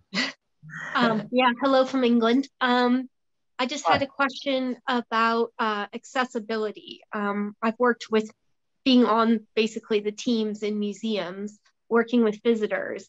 And the number one accessibility complaint that we have is for um, our neurodiverse community. Um, so, like people with autism, um, they find a lot of, especially the partial and full immersion, um, let's like the sensory combinations and the amount of sensory of different things is not very friendly for them. Um, I was just wondering if you've looked into that, any of that accessibility issues, or if anyone has, um, that would be really interesting. Thanks for the, for the question. This is very this is very important, um, and it is not just about uh, you know non-neurotypical people. It is about all of us. Like if we create a bit of a bit of dissonance of how we uh, experience reality, it can be it can be emotionally and psychologically damaging for uh, for anyone. And even more so uh, when people have a condition that highlights certain sensory inputs. So here you have to tread very lightly be very careful about how you introduce and what, what you introduce. Sometimes it's better not to introduce. You know like we want to create experiences and use technology just to uh, elevate the value uh, of, of visitors, but sometimes you take away from the experience. Uh, you make it even less accessible. There are works that are very nice. Um, I, I, believe someone was talking about it in a letter before um, about this lovely work called Touching Masterpieces. And I was very, I, I was very, very happy to see it being uh, discussed because a, a, friend of mine, a colleague of mine from from Prague, was working on its development, and it's about uh, blind people using haptic feedback gloves to touch uh, 3D reconstructions of um, virtual reconstructions of famous sculptures. So what they did was they took uh, they took um, 3D 3D scans of Michelangelo, let's say, and they they used the 3D object to create uh, points. They they placed points on the uh, 3D object, and when you get your hands into the space of the 3D object, you would get vibration in the um, in the in the in the gloves. So for um, for visually impaired people, this is a way to interact with artifacts uh, in a very intimate way, and I would argue that that is even more intimate way of interacting, especially for sculpture, uh, than we have, or non-visually impaired people. And um, um, I, so why? Yeah, sorry, I, I I was at a conference where there's a presentation where there's a company that's now 3D printing paintings down to like millimeters. You can actually touch a Van Gogh, and that was also talked about with a physical object in the physical world that you can touch without, you know, touching an actual Van Gogh, and that was quite interesting. Of course, because I mean, we are touching. That is like touch is our first sense, basically, because we do not develop you know, our visual sense uh, immediately after we are born. It's more about touch. So it's a very intimate way of understanding the, the world around us. So sometimes when people have uh, some senses heightened, we have to be aware of what we are creating and of course have you know have disclaimers uh, be very clear about it and um, we are learning how to do this you know it's still very early. I've seen some interesting works being done in treatments for autism in vr where um, they try to train the the user to, to offset basically the sensorial inputs in a, in a safe and gradual environment so they get more uh, how to call it resilient i would say. Um, to, to train the sense to, to, to be able to take more and more and more. So we'll, we will be doing these type of things in vr uh, more and more but at this stage we have to be careful uh, not to make it unpleasant for for any anyone involved. And this is the one of the, the jobs of uh, the experience designer because the experience designer is not just about, you know, ah, we need to make someone walk through the cathedral and do X, Y, Z, but it's also about uh, figuring out how to give them the right information at the right time, how to teach them about interactivity with space, how not to overwhelm the users, but to give them different senses uh, being dominant in different times. So this is this is where the true artistry is happening. And um, usually my entry point into experience design was through philosophy and then film directing and being always being deeply involved with computer games and just figuring out interactivity and then get, getting more into neurocognitive sciences, um, interactive design, interface design. So all of these things add layers to to to these experiences where you at, at least you try not to have someone puke in VR. Thank you, Dan. Okay, we have Dusan. Glad to see you. Very nice to see you, Stefan, and uh, of course, other colleagues from Balkan Heritage Foundation. And I hope that you had a really nice time in Mona and Viminacium, developing the, the project about IMMERSIUM heritage. And I'll be happy to hear if you have some um, maybe new perspectives, uh, working with the other two groups of the field Heritage Field School, and uh, did you develop the game and the application we've been working and speaking about?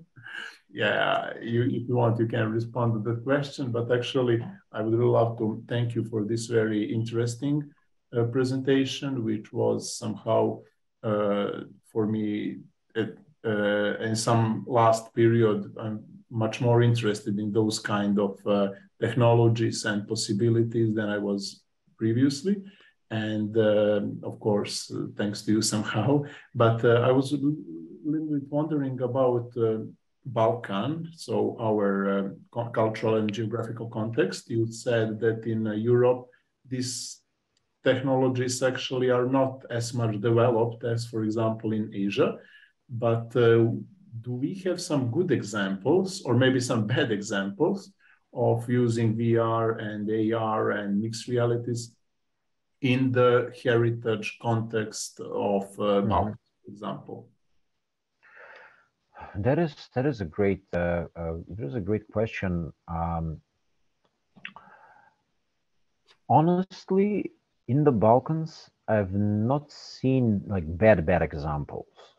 Uh, and throughout Europe, I have not seen like bad bad examples. And by bad, I mean uh, something like you're walking away from the experience feeling bad you know like that would be a yeah. bad bad uh, experience um, usually we have and this is why i i was giving uh, examples for gradual adoption of what we did for example 10 years ago and where we are now and you know where like when we talk about these type of experiences this is more or less the baseline that we have settled on.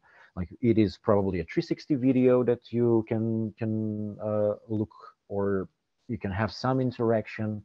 Um, one of it is just like having interaction with the virtual object. Another one is more into this location based um, city walk replication um, that was used also on the on the project this is very this is established approach i would say um, the technology I, I think it's more about the difference between Europe and Asia here is more highlighted in the conceptual approach towards the technology. Um, there is always some element of shame attached to using virtual reality Europe that I see in public places. Um, there's always like, do I look goofy? Don't take silly pictures of me you know don't tag me if i don't look okay uh, you know um, we can speculate why that is but that's another thing in in in asia there it is much more open in that sense that mm. everyone is having fun with it like they they want to to look as silly as possible and just be just explore it um so i don't know i mean we can speculate why that is and how these differences uh, came to be. But this is important to have in mind when we talk about curatorship, uh, because you have to take into account the sensibility of the audience.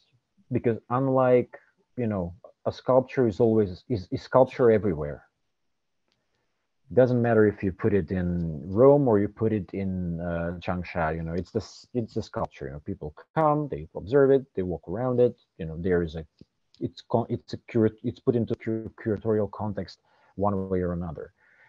Um, these type of, of, um, of content has a, it is much more subjective, I would say.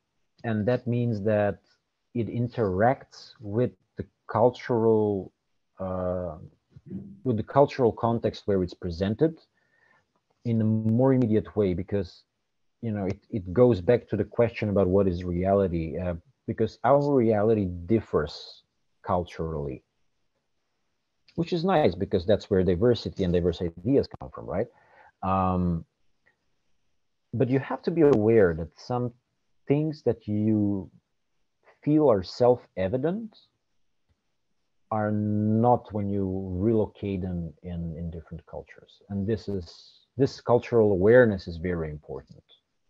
Um, so it, it's just fun to explore it, if you ask me. You know, just like creating this, the creating experiences, um, having these uh, these questions in mind, because then you can create effects, like specific effects. You know, it makes you more precise in in what you instill in the audience.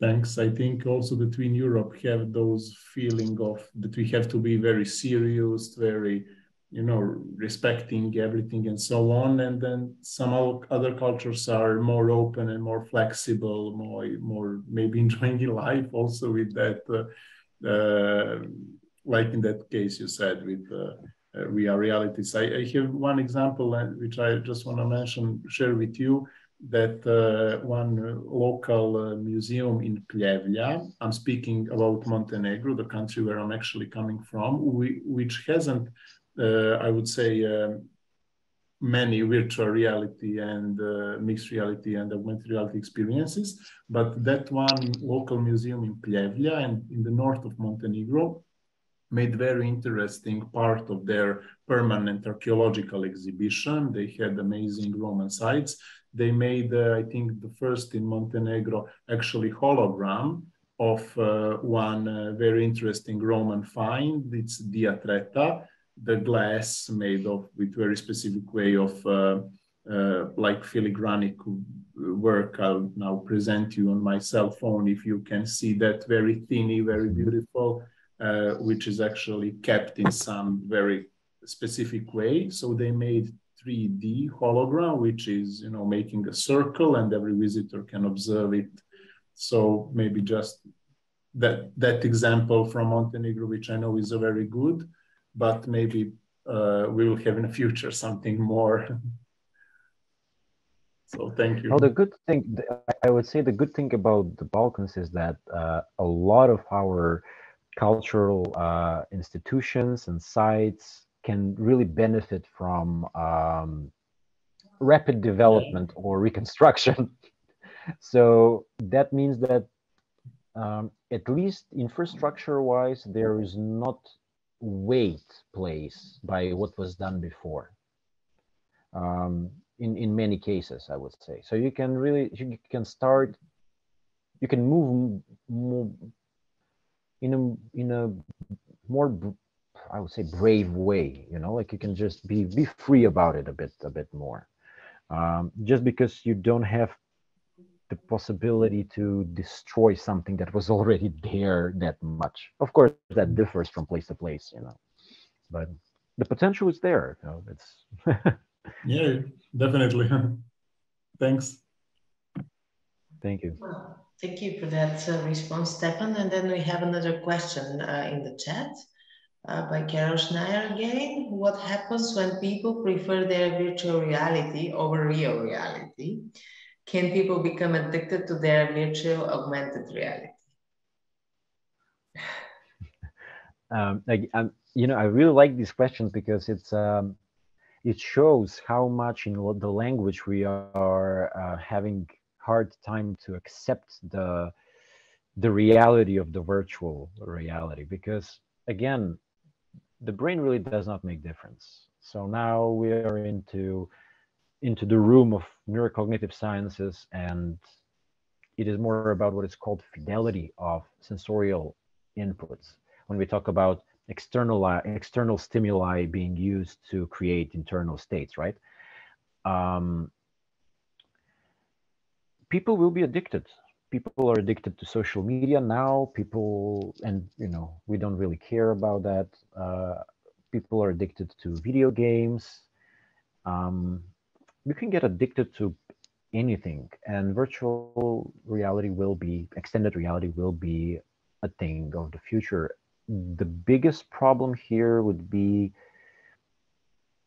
because it's of created nature and it's used to recontextualize information from the real world, then it can serve as a sort of a veil between ourselves and the other, the object, and increasingly more as a veil between us and ourselves, where we have even now, if you think about it, we we you know we have smart watches that measure everything we do, and we're not even listening to our own bodies. We are looking at the data of that the device is collecting. Uh, we are not looking where we are moving. We are looking at a top-down view of an environment and we are following the line on Google Maps and using GPS. This is highly non-traditional uh, way of navigating because when you think about how we used to navigate until we had phones, we are navigating mostly, of course, you know, street name of that. Also, just looking at buildings, looking at objects. It's like aha, the tall building, and behind the tall building, there's that. And this is how we have navigated since the beginning of, of time, basically. The idea of that, aha, go that way for some time, and then you get to the crooked tree. And when you get to the crooked tree, turn right, don't go left. And if you go right, then you go la la la. So we we were navigating ourselves, creating the reality of what is around us through these physical phenomena that that we had. And now we have uh, this what is called basically post-phenomenal local of our reality. So we are looking at some aggregation of information presented in one way or another, right? So this is where uh, the biggest threat, I would say, is. It's not about addiction because you know we're addicted to things all the time, but it's understanding the nature of the addiction, understanding what the power of this in between technology is, um, and to understand how much of this interaction that we are having with the other object is curated by the veil of uh, virtual reality or extended, extended reality. Uh, there is a lovely film that I, I usually show it on workshops um, and sometimes when we talk about um, about augmented reality, it's called the hyper reality. It's by a Japanese uh, uh, film director. It's a short film, and it's about um, a woman in high adoption AR environment in in the world. She has a, a malfunc- malfunctioning issue with with the with the technology, and it opens up so many of these uh, questions. It's such a small format, very compact. I highly recommend it. Hyper reality, short short film. So yes, it's a you know it gives it, it gives philosopher and policymakers something to think about. oh, definitely. And if I may ask now, um, do you have a dream project of yours with augmented reality? If yes, can you please share something like about it? If it is not too personal, sorry. No, it's not. Thanks for for the question. I mean, there are projects that uh, there's there's there are many ideas, of course. Some projects into some phases of development. Um, some on hold, some successful. You know, it's that that's how life is. Um, I mean, I like dealing with education and virtual reality quite a lot. I did some consultancy on development of educational uh, programs for uh, for virtual reality, and it's something that I find very uh, very exciting. Um, but if we're talking about more artistic things, there are some very abstract things that I want to play with. But there is one project that uh, I will mention. Um, so I didn't talk about here about a lab that is based in Mosul. Um, we did some some some workshops with them. Uh, very very driven, incredible young group of people, uh, group of young people, architects, programmers, game designers, and they are using uh, photogrammetry, virtual reality technology to preserve Nineveh, the ancient capital that is next to Mosul, who got and, and a lot of things got damaged there. Um, through the through the war, and especially uh, when ISIS was there and all all those uh, things that were happening. So they are trying to reconstruct them and tell stories, like how to tell, you not just reconstruct, but how to tell a story through it. So with with another friend of mine, um, an American uh, film director who's doing a, also a lot of VR, they're developing with the Goethe Institute a very interesting uh, project called Infinite Library, which is about a bit more artistic like the, the idea of the infinite library is that you are in this hub space and from there you can navigate into other rooms uh, where you would have um, more artistic exploration of some of some uh, experiences right? So one was for example a library of practices um, of indian uh, silks and fabrics like how how they were made how they were used uh, another one was about mycelium. Another one was about, you know, like you had all different uh, libraries. And one of the ideas what we wanted to do, and this was a project that we were uh, trying to get off the ground. Um, the lab, the guys from the lab had connections with um, with the British Museum, and um, the Gilgamesh tablets were found in Nineveh, and most of them are in the British Museum.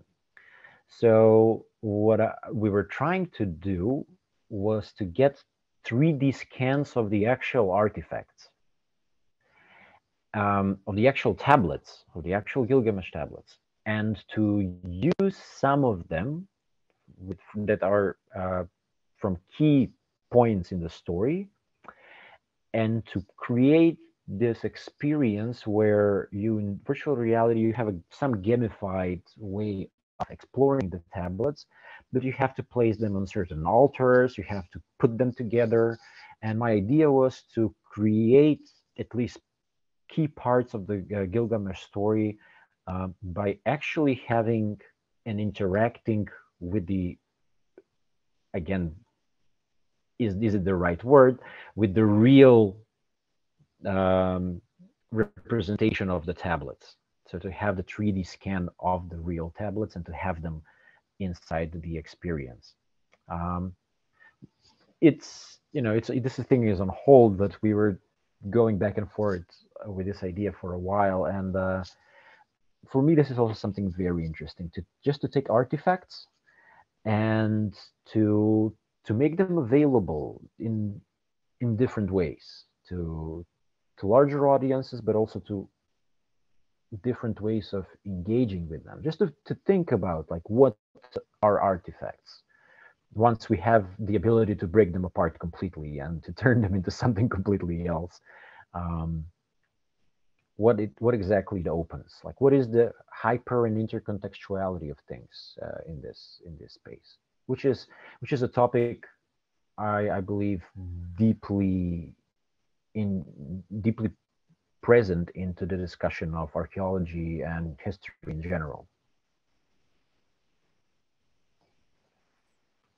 Well, yes, thank you for that, uh, for your thoughts. Actually, I also do believe that um, augmented reality can help very much into making the accessibility of um, the cultural heritage um, more and more open for the audience because we still have uh, this problem when trying to present, for example, archaeological finds or sites, um, that there is a lot behind the scene happening, which cannot be actually shown uh, in the best way to the ordinary people, just in the showcases of the museum or even on the site.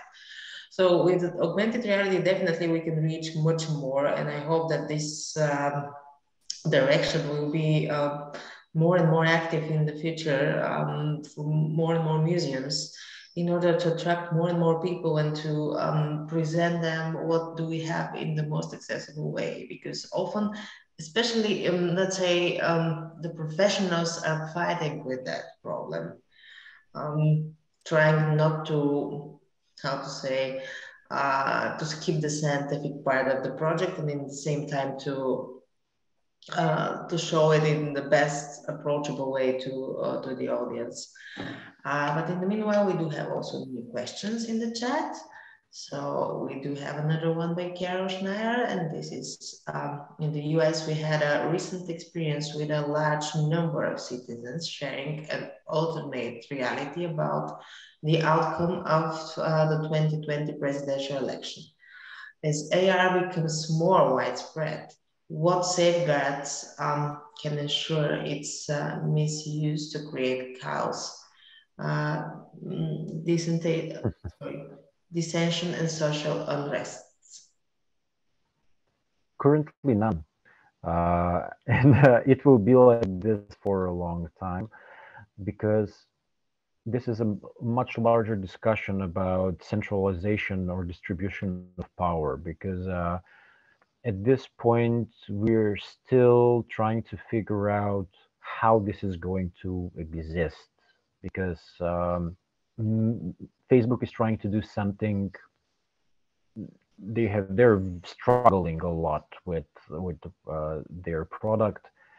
Um, there is the issue of OpenXR where you can distribute things. It is a serious problem. I mean, it is a serious problem not just on you know te technology. I don't think technology is the problem in any case. Like if you take any technology even if you take technology as a gun for example i i don't i don't think there is good and bad technology. It is the intent that you use it to behind it. Uh, it would be great if we can live in uh, in a world where you know everything is just uh, you know nice but um, technology is i always want to say that technology is just an amplifier um, is amplifying the results of the intentions with which we approach a certain situation. So the more powerful the technology, the more self-aware we have to be about what we want, what reality is, to be open about what is going on in general, because we will more and more see new technologies that have bigger power, are accessible to larger stakeholders, and uh, we will see some very interesting changes very in the next 10 15 years regarding these technologies I, I would say not just not just ar we have we have of course the issue of, of uh, biohacking and uh, artificial intelligence, so like a lot of other things being uh, being around. So we'll see. We'll see how it goes. well, let's see, really. And so the next question is probably um, very much covered by the answer you just gave. Mm. What are the major ethical issues with using VR AR? I would say the biggest the biggest one is um, creating emotional states that are um, aggressive unless people do that willingly of course and uh, we will see we are already seeing and there are some very questionable um, uses of vr for psychological reprogramming. Um, and this is what we are going to see increasingly because we uh, we used we used some research that was done by I don't remember the the name of the it was a consult it's a very it's a big consultancy firm using for tech industry it is the like the the short memory retention and long memory retention and muscle memory when you train in VR or experience something in VR is many, many times uh, more successful than if you just have it in a physical space. If you look a video or if you just, of course, if you have, if you're in physical space, you're trying things out, but you cannot try things and uh, sometimes, especially in high, in, in, in um, fields or industries where, you know, a small mistake can cost hundreds of thousands or millions, right?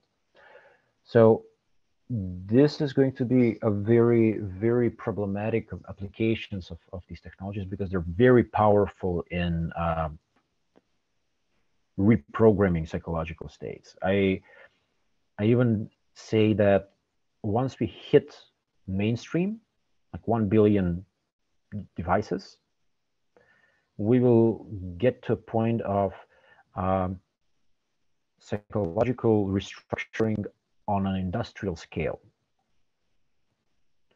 And um, you know, it can it can be very dangerous.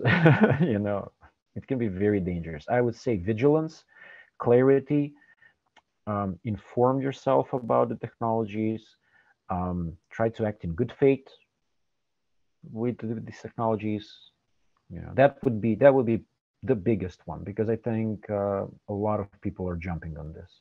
I mean, I'm talking with some with people that are trying to figure out how to use this as a product in this regard. So, you know, it is definitely something that we we are seeing currently, and we will see more as a finalized product uh, adopted widely. When this gets into education, for example, on a wider scale, maybe not in five, five, 10 years, maybe even 15, 20 years, who knows how things are going to develop. But it's a power of technology that we need to be aware of. Definitely, yes, and control somehow. It has to be controlled by the institutions responsible, hopefully. Well, um, are there any more questions for Stefan tonight? Um, if not, I would like you to thank you once again for um, the great effort uh, for presenting this uh, presentation in front of our audience. I think that it was highly appreciated. Um, and I do hope that we will have other chances in the future to follow your path, your new projects, and to invite you again. Um, so um, I would like to use the case uh, now to announce our next presentation, which is going to um, happen on the on November the 5th at the same time. Uh, it is going to be presented by Ivan Vasilev, our colleague, friend, and the CEO of the Balkan Heritage Foundation. He's going to talk about um, the recent results of the fresco hunt expedition, which is happening uh, since 2008 in the border region uh, of Serbia and Macedonia. So we're going to post uh, that information on our homepage and you're welcome to, um, to register for that.